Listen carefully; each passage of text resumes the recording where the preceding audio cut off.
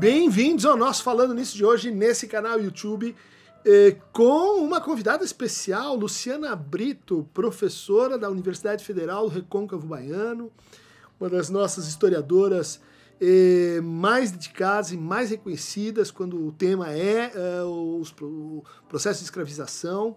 Eh, tem trabalhos muito importantes sobre abolicionismo, ganhadora do, do prêmio Skidmore, estudou nos Estados Unidos, tem uma, uma carreira assim, nível internacional, muito reputada, e está aqui visitando o nosso canal YouTube para um conjunto de perguntas candentes eh, sobre este momento e a questão racial no Brasil. E é, queria começar te agradecendo, Luciana, pela, pela, pelo tempo e, e te perguntando sobre é, que história é essa é, de Israel, da mítica israelense, judaica, sendo usada, sendo apropriada pelo discurso, eu posso chamar assim, neo-racista, não sei se você concorda com essa expressão, né? O, o discurso que funde assim fascismo com racismo numa combinação toda brasileira, né?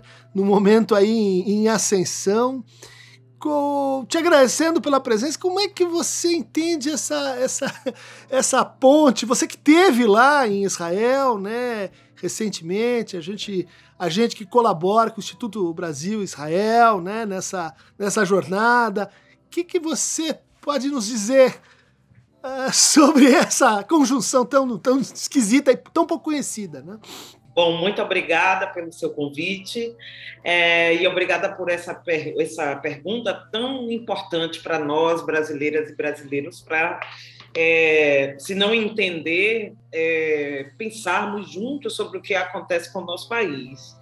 Então, é, há 15 dias atrás, mais ou menos, eu participei de uma viagem para Israel a convite para o Instituto Brasil Israel. Foi uma viagem maravilhosa. Eu lhe responderia essa pergunta de uma forma completamente diferente antes dessa viagem e depois. Né? Eu sou pesquisadora da escravidão e da abolição e de relações raciais no Brasil e nos Estados Unidos. Então, o que eu sabia sobre o Estado de Israel é que, é havia um conflito por território Israel, Palestina, e que nesse conflito por ter território havia um aspecto religioso nele. Era tudo que eu sabia. Eu não sabia nada sobre esse conflito. Continuo sabendo muito pouco, se a gente falar em termos de uma especialista, pesquisadora no tema que eu não sou, mas é, a partir da visita que eu desenvolvo melhor e consigo refletir melhor sobre as inquietações que eu fui desenvolvendo aqui no Brasil. Então, o que eu percebi aqui no Brasil antes dessa viagem é que o, os setores da extrema-direita brasileira utilizavam, é, num discurso conservador, é, fundamentalista religioso, o Estado de Israel como referência. Isso eu sabia. Uhum. E eu não entendia direito por quê. E eu percebo, nós todas e todos, vemos no Brasil uma, um, um acirramento das relações raciais, com um acirramento do racismo na sua forma mais bruta e violenta no Brasil. Né? Então, é nessa, nessa via, para essa viagem, eu preparei um, uma versão bem incipiente de uma pesquisa que eu começo a desenvolver sobre como o avanço de movimentos de extrema-direita, movimentos neonazistas, né? e movimentos que se inspiram na teoria da substituição, que eu vou já uhum. o que, é que ela uhum. significa, uhum. encontram no Brasil esse laboratório é, para elas, não só o Brasil, como os Estados Unidos, e são sociedades multirraciais, com uma população negra muito grande, no caso dos Estados Unidos, se a gente comparar com o Brasil, muito pequena, e no Brasil aí muito grande, né? É, a primeira vez que eu ouvi falar da teoria da substituição foi esse ano, após o ataque de Buffalo, que uhum. aconteceu em maio. Né? E o, o, o terrorista que se identificou era é um rapaz de 18 anos, ele teve acesso a teorias da, é, é, de substituição e neonazistas na internet durante a pandemia, e é aquilo que motiva é, o ataque de Buffalo. Ele diz isso num documento que ele lança online, que eu acredito que, é, por razões de segurança, e aí eu acho que tem que ser isso mesmo, esse documento não circula na internet. Né? Uhum. Então, o que é que ele diz? Ele justifica que ele vai é, promover um ataque na cidade negra mais próxima da sua, no estado de, de, de Nova York, na cidade de Buffalo, é, para combater a teoria da substituição que vem ameaçando a maioria branca de é, é, pessoas no, é, nos Estados Unidos e na Europa. A teoria da substituição surge na França, ali no início do século XX, e ela vai ganhando corpo com o avanço da extrema-direita naquele país, é, a, com a publicação, agora, né, nos anos recentes, a partir de 2018, e com a publicação de um livro sobre a teoria da conspiração de um escritor chamado Renaud Camus. É, o que é que essa teoria diz? Ela se fundamenta em supremacia branca. Ela diz que há uma e aí vem o aspecto antissemita dela, uhum. e há uma, uma conspiração judaica no mundo que quer levar imigrantes africanos e árabes pa, para países onde a maioria da população é branca. Então, é, é uma loucura. Deve, deve ter alguma, algum malabarismo por trás é, disso. É. E aí, como é que, então, isso ganha, cai como uma luva em movimentos antimigratórios e supremacistas na França e nos Estados Unidos. Né? Uhum. E a grande culpa dessa onda imigratória africana e árabe nesses países dito brancos é dos judeus, que vêm promovendo é, essas imigrações, apoiando essas imigrações nesses países com o intuito de enfraquecer a maioria branca é, desses países. Bom, é, é simplista. Uhum assim mesmo. Mas dá para a gente dizer, por exemplo, que o filme do Lázaro Ramos, o, o Medida Provisória, temos uma versão ali da, da teoria da substituição, é, ou, ou isso é, é, uma, é uma vertente entre outras? Né? Pensando na ideia de, de, de, devolver, né? quer dizer, que está lá no filme, de que eh, devolver os, ah, os, os, negros para a África, para o lugar de onde vieram. Né?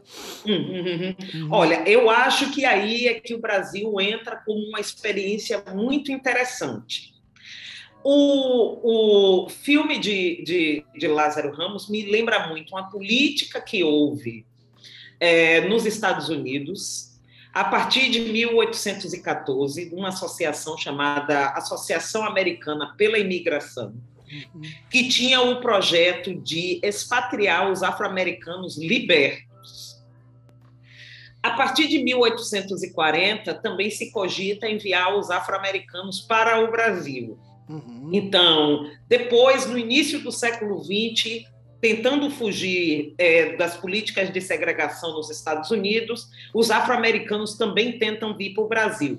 E aí o uhum. governo brasileiro diz: não, a gente não quer esse pessoal aqui. Né? Uhum. O Brasil tem, tem uma política de, de proibição de entrada de africanos em 1831, que é a primeira lei antitráfico, né? É, mas Christian, eu acho que é aí que o Brasil nos coloca num, num, numa condição quase que excepcional. O supremacista branco brasileiro, ele não quer que os afro-brasileiros saiam daqui. Uhum. Ele é diferente do supremacista branco dos Estados Unidos, que não quer a entrada dos imigrantes da América Latina, e ele quer a saída dos afro-americanos do país, do país. Nos insultos, ele diz: voltem para a África. Uhum. Né? Muito embora no Brasil, nos últimos anos, a gente vê que os ataques xenófobos têm uma composição racista antinegra muito forte. Uhum. A gente sabe dos ataques sofridos pelos haitianos no Brasil, uhum. e dos africanos como Moise, né? É, que foi espancado até a morte no Rio de Janeiro. Né? Então, esse tipo de migrante no Brasil é indesejado, aquele negro do Haiti ou dos países africanos. Mas nenhum projeto, e eu vou dizer, supremacista branco brasileiro, quer que os afro-brasileiros saiam daqui.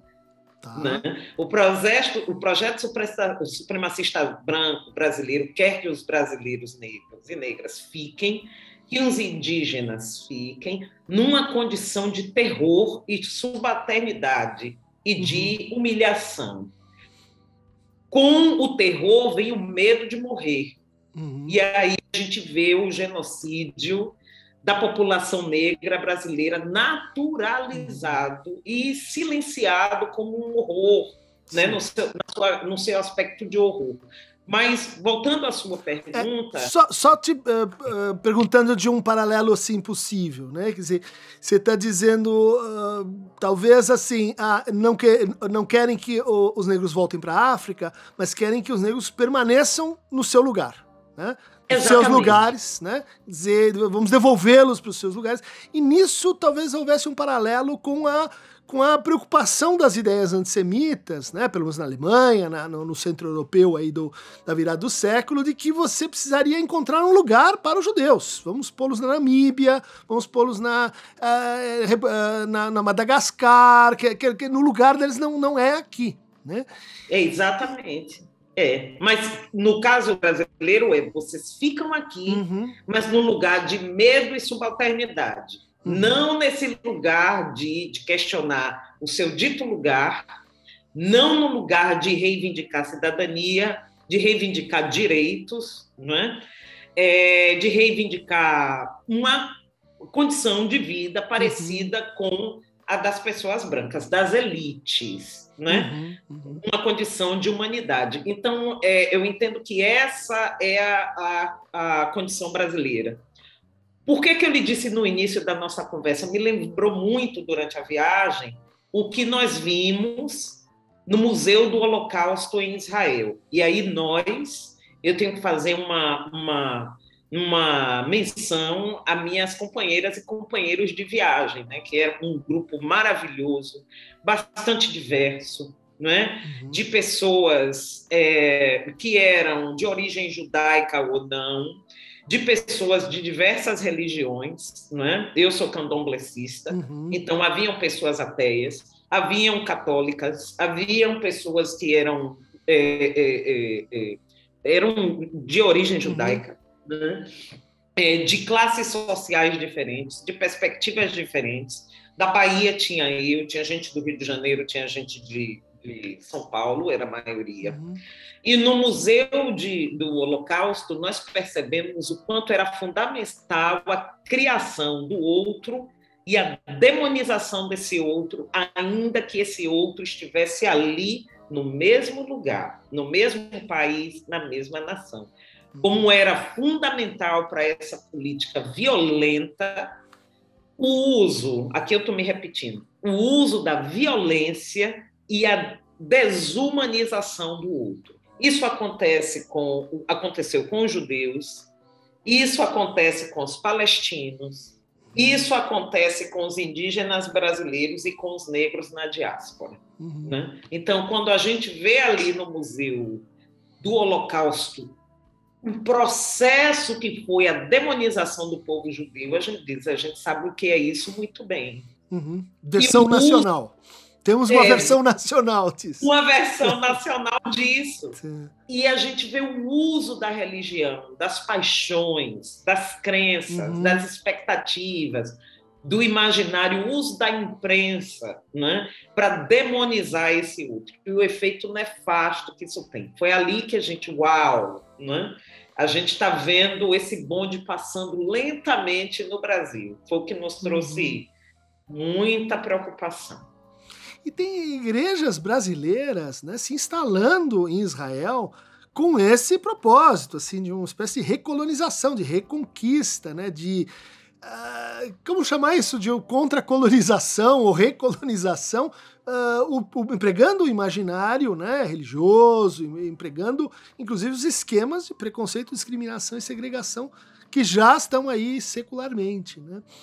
Mas é. escuta, Luciana, o que, que, que você diria para esse discurso aí corrente né, da, da, da direita brasileira de que olha, a escravização já era um processo que acontecia na África e que, bom, então uh, isso não foi invenção dos portugueses, dos holandeses, dos, uh, dos brasileiros, que, que isso foi só assim uma, uma ampliação do que, do que já havia, né?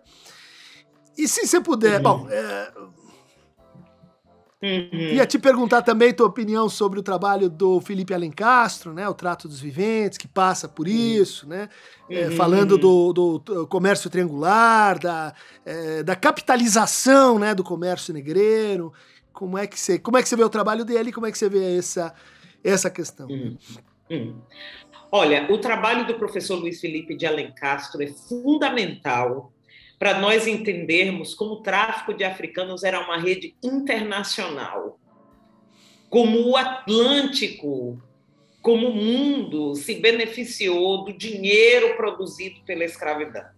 Uhum. Né? O aspecto econômico da escravidão. O que é que a gente depreende ali? O mundo estava interligado, o mundo estava produzindo tecnologias para a, a, a, empresa escravista do tráfico, né? E aí a gente vê, por exemplo, tecnologias de navios cada vez mais rápidos, né? E que se aproveitam das correntes marinhas que estão circulando ali no Atlântico. Então todo mundo ganhou dinheiro.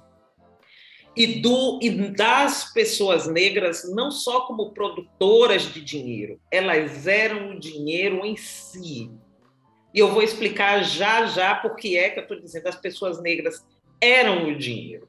Elas valiam mais do que a terra em si. Era a moeda, né? Então, toda a economia do mundo atlântico, naquele, entre os séculos é, 16 e o século 19, circulavam, e aí tem os bancos, tem as empresas, tem os, o, o, dinheiro, a, a, a, o circuito de empréstimo de dinheiro, os investimentos que eram feitos. Os holandeses, o comércio da cana de açúcar, né? Uhum. Envolvido, envolvidos nesse comércio, os navios que eram fabricados nos Estados Unidos, embora os Estados Unidos já tinham abolido o tráfico. E aí o Brasil, os, os Estados Unidos aboliram o tráfico um ano depois da Inglaterra, em 1808 e os Estados Unidos continuaram produzindo navio para o Brasil e para o Caribe. Então, e o Brasil tinha um papel fundamental nesse comércio. O Brasil sozinho era, era responsável por 40% do tráfico. Então, eu acho que o, o trabalho do professor Luiz Felipe de Alencastro, e com uma honestidade intelectual muito grande, nos revela como isso não cria, nos explica por que é que pessoas negras estavam envolvidas no tráfico. Né? É aí que eu quero chegar, que eu acho que é, que, é que tem a ver sua pergunta. É importante também a gente destacar aqui que a, a fala do professor Luiz Felipe de Alencastro no Congresso foi fundamental na defesa das cotas, da constitucionalidade da lei de cotas. Né? Esse trabalho dele foi fundamental, uhum. ele depois, né? Uhum. É, é, é, nas, nas, durante o momento ali nos anos 2000 de defesa das cotas no Congresso Nacional é, e na Suprema Corte brasileira. A escravidão aconteceu em toda a humanidade. Branco escravizava branco também. Né? E havia, por exemplo, no, na, na, quando os Estados Unidos eram uma colônia, haviam menininhas e menininhos órfãos que eram levados da Inglaterra para os Estados Unidos para trabalhar como servos a escravidão é antiga, não só os negros se escravizaram e foram escravizados, né? Os brancos também. A questão é que a escravidão negra, a escravidão moderna, produziu toda uma tecnologia religiosa, científica, social, econômica, que se arrasta até hoje e que diz que a condição das pessoas negras é a escravidão, a condição natural. Nós tivemos um episódio de racismo na última semana que veio à tona na imprensa baiana, é, no qual uma mulher diz a uma caixa de uma loja de departamentos, uma moça negra, essa caixa, ela diz o seguinte: você é uma neguinha escrava. Nós estamos no século 21, nós estamos em 2022, e ela ainda faz uma referência a uma condição do século 15 e 16 para agredir uma mulher negra. Isso não acontece com mulher, pessoa branca nenhuma mais. Não acontece. Não faz sentido nenhum olhar para uma pessoa branca e uhum. dizer você é um escravo.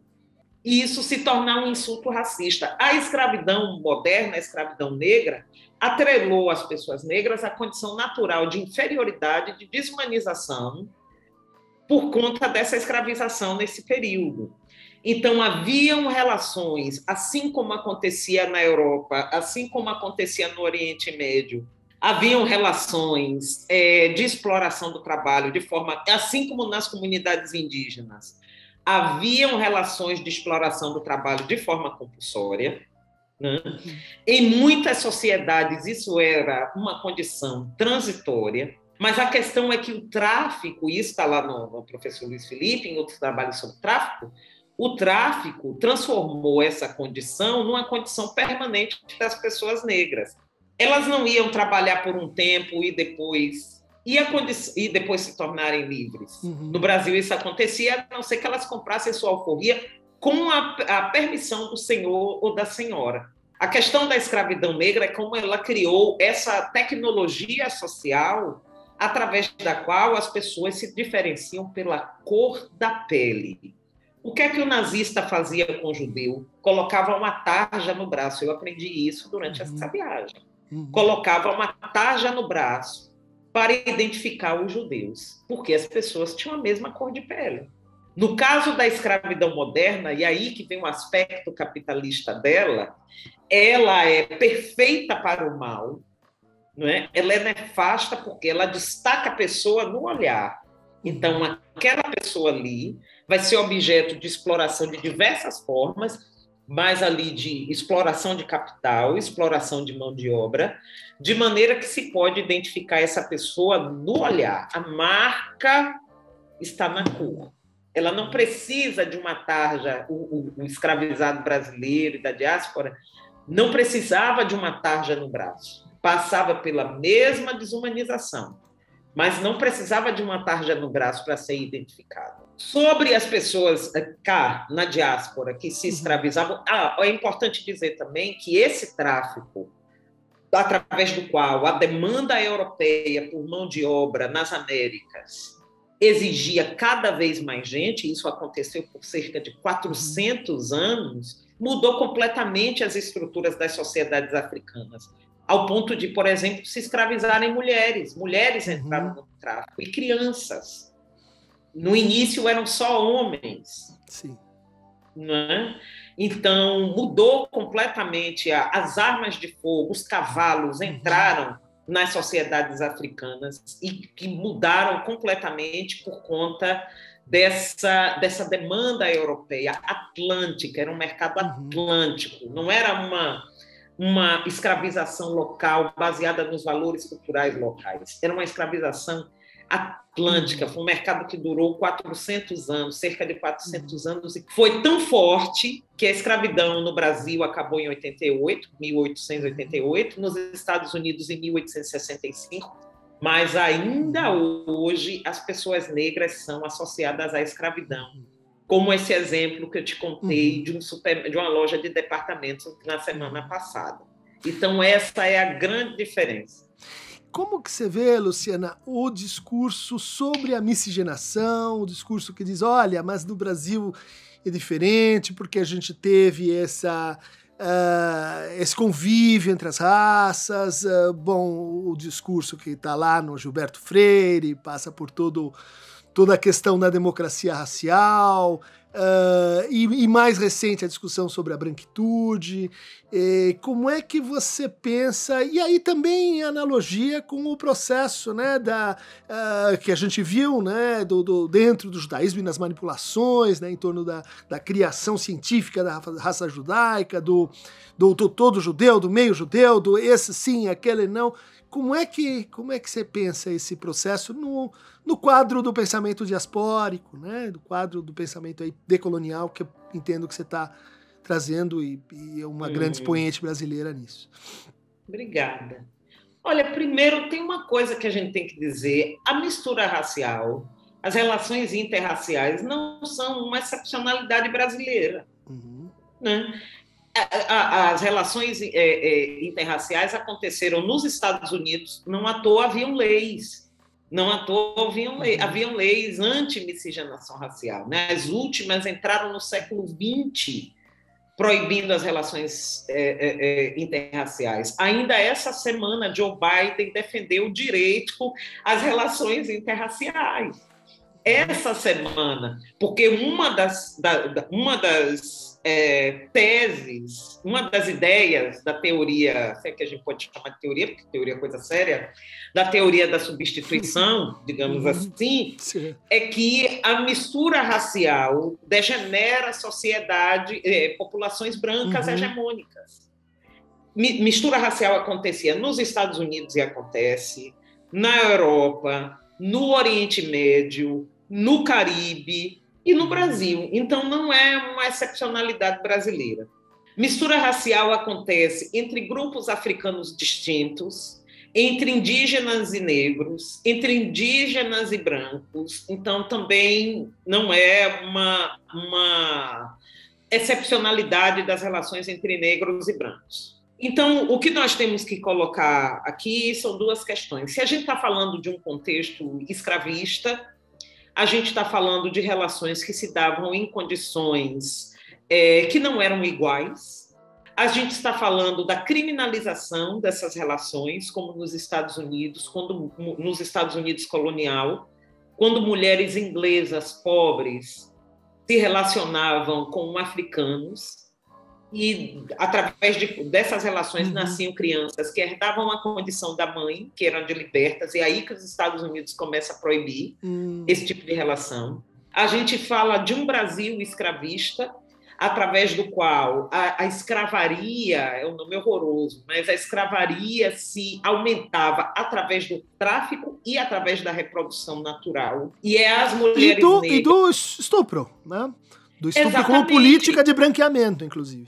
É, porque a mulher não era somente objeto de prazer é, é, violento, libidinoso uhum. dos homens que, vi, que viviam nessa sociedade. Elas também eram vistas como reprodutoras. Elas estavam para um pequeno, um pequeno escravista, e que era a maioria, era possível ele aumentar a quantidade de escravos que ele ou ela tinha através da reprodução uhum. dessas mulheres. Não era muito mais barato do que uhum. comprar. E a gente está falando também de um país que tem uma política de embranquecimento da população, como você disse, através de políticas imigratórias, né? e políticas que, ao mesmo tempo que traziam mais brancos da Europa para o Brasil, esperavam que as populações negras iriam morrer que não iam conseguir, no pós-abolição, se manter vivas no século XX. Não é? Então, eram condições muito desiguais. O que é que eu estou querendo dizer? As relações sexuais, e esse é o grande problema de Freire, o sexo não resolve o problema do racismo. Uhum. E a gente vive num país no qual a gente vê isso muito bem. Nos Estados Unidos uhum. também não. Em lugar nenhum porque as relações aí pode é no, entra no campo do poder, entra no campo da desigualdade, entra no campo da exploração, entra no campo do desejo, mas não significa que o racismo acabou. Uma entra, coisa não resolve a outra.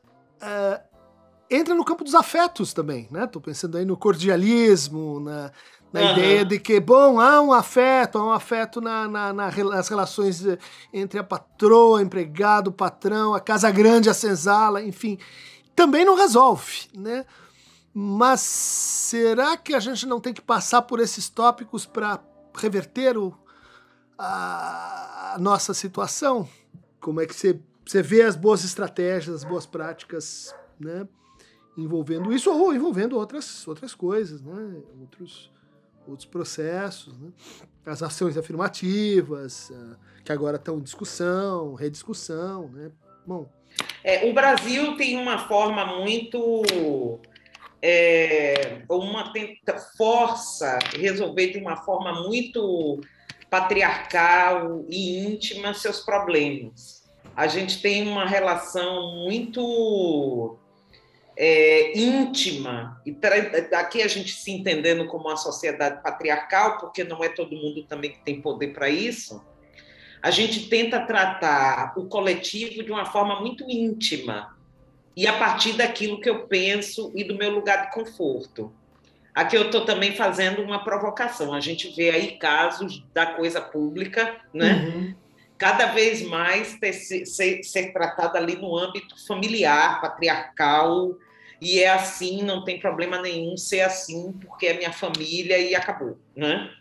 Não tem muita explicação. E assim também a forma como as elites nacionais, patriarcais, veem que é a forma de, de resolver questões sérias que é a questão racial do Brasil, que não é uma questão romântica, não é uma questão de que se resolve na nossa intimidade sexual. A gente está falando da vida das pessoas. Pessoas no Brasil morrem porque são negras, homens, mulheres, crianças no Brasil morrem porque são negras, morrem de bala, morrem abandonadas no elevador, morrem sem oxigênio, morrem nas filas de postos de, de, dos postos de saúde. O campus da universidade onde eu trabalho fica numa cidadezinha do Recôncavo Baiano, que é a cidade de Cachoeira.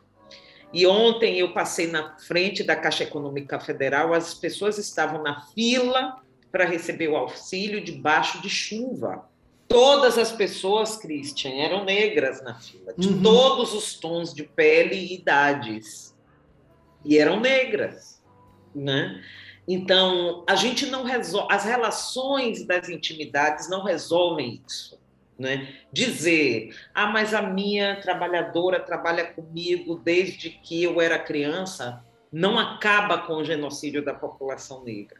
Não resolve as questões de saúde dessa trabalhadora e nem as questões do direito dela enquanto trabalhadora a questão racial no Brasil, enfim, a gente sabe que tem os afetos, afeto também está misturado com poder, com desigualdade nas relações, tem desigualdade de classe, desigualdade de gênero, desigualdade etária, tudo vivendo, convivendo ali ao mesmo tempo. Isso se resolve com cidadania, com direito às coisas, uhum. com um amplo debate na sociedade honesto e com o entendimento que pessoas todas têm os mesmos direitos e aquelas que têm desvantagens históricas têm que ter políticas de ação afirmativa para que um dia, um dia, não exista mais a necessidade das ações afirmativas, que não é agora, é cedo demais. A uhum. gente vê nas universidades, por exemplo, o trabalho fantástico do sistema de cotas, mas aí veio uma pandemia, justamente nas vésperas da revisão do sistema de cotas, né? Uhum. No Enem, a maioria dos brancos, das pessoas que conseguiram fazer as provas do Enem são brancas, depois de dois anos de pandemia, e a maioria das pessoas que estão evadindo das universidades porque não conseguem se manter são negras. Uhum. Então é cedo demais para dizer não, a gente não tem racismo, porque a gente é um povo misturado. Pessoas morrem no Brasil. Esse, hoje é sábado, então a gente vai ter aí, com certeza, um fim de semana uhum. no qual, sobretudo no estado onde eu vivo, que é o estado da Bahia, pessoas vão morrer, dezenas, porque são negras. Então, uhum. as minhas relações pessoais, minhas relações de afeto, as trabalhadoras domésticas, que, por sinal, embora são tratadas como se fossem da família, mas não entram na herança, não é? Uhum. Essa, é, as relações afetivas não se substituem políticas públicas, não substituem esse problema enorme que nós temos num país tão grande, uhum. tão multirracial, diverso, de maioria negra. Então é isso que eu, hum. eu acho. Obrigado, Luciana. Foi um, foi um prazer, um esclarecimento. Eu acho que, sobretudo nesse momento em que apesar dos avanços, né, não sei se você concorda, do ponto de vista do, do, reconhecimento, da expressividade, os avanços na cultura, a representatividade institucional, política, né, é, ela ainda não avançou, ou está avançando, ou, ou deve avançar mais quando a gente fala em, em, em eleições, quando a gente fala em, em representantes diretos né, de, é, de negros no Congresso e no, nas instâncias diretivas aí do, do país. Então, é esse o contexto. Beijo, abraço, aperto de mão. Agradeço muito a participação aqui e a gente se vê. Nos vemos sim, muito obrigada. Tamo Até junto. Beijo. Tchau. Tchau. Para receber mais fragmentos de tópicos ligados ao pensamento pós-colonial, decolonial, diaspórico, antirracista, libertário, libertador, clique aqui no Aqueronta Movebo a barca que substitui todos os navios negreiros, todos os navios do sofrimento que andam por aí a torto e direito.